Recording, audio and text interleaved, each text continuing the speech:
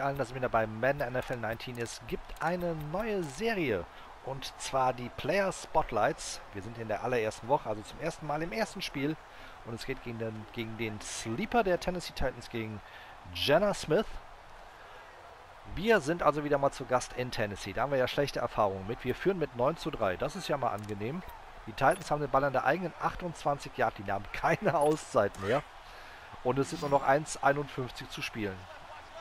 Da hat den Titans aber mal jemand richtig miese Karten gegeben. Erster und 10 Marcus Mariota. Findet aber einen Receiver. First down an der 38-Yard-Linie. Natürlich gehen die Titans sofort in den No-Huddle-Modus über. Da hat Mariota genau gesehen, wo der Blitz herkommt, wirft dort außen hin, findet einen Receiver. Derrick Henry macht drei Yards gut, ist ein Zweiter und sieben. Der Ball ist an der 42-Yard-Linie.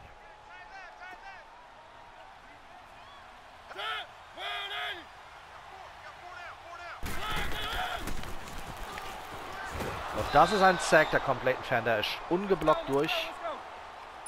Dritter und 14 damit. Der Ball ist an der 34-Yard-Linie. Richtig miese Feldposition jetzt für Tennessee, die ja einen Touchdown erzielen müssen, wenn sie das Spiel hier drehen wollen. Und oh, ein Wahnsinnspass von Mariota. Ist es ein First Down? Es hat gereicht. Erster und 10 an der 2 Yards vor der Mittellinie. Stellen sich die Titans wieder auf. Werfen vollständig. Ball an der 45 Yard Linie. Wir haben einen zweiten Versuch und drei.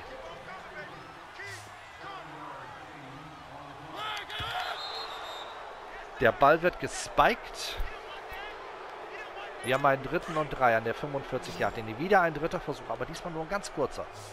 Bleibt Mariota weiter so cool wie bisher in diesem Drive?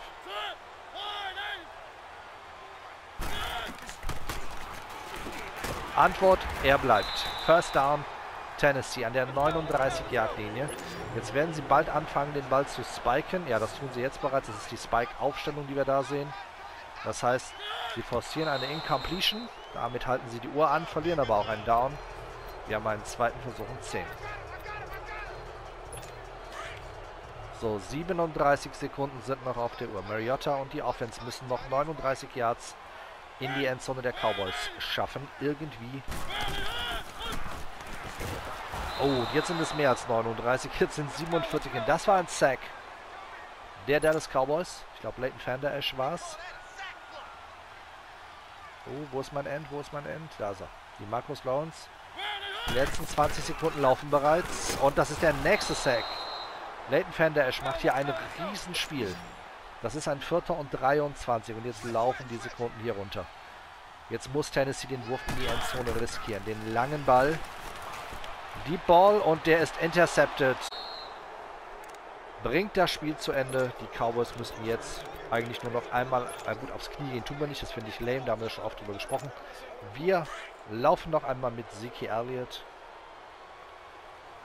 über die Außen. Ah, Eddie George ist es, Entschuldigung, als Running Back. Und damit ist die Challenge vorbei ohne Punkte. Wir halten aber unsere Führung 9 zu 3. Gewinnen wir also das erste Players Spotlight Spiel der ersten Woche. Bis zum nächsten Mal. Macht's gut. Ciao.